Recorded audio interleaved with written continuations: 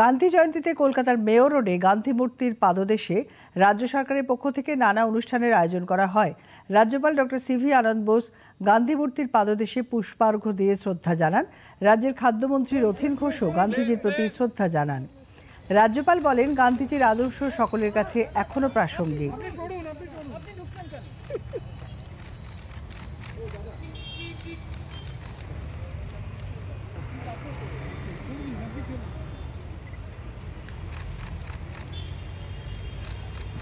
Try to be a Gandhian. Try to be like Gandhi. Imbibe the spirit of the Mahatma. That is the message. Congress সাংসদ প্রদীপ ভট্টাচার্য গান্ধীর প্রতি শ্রদ্ধা জ্ঞাপন করেন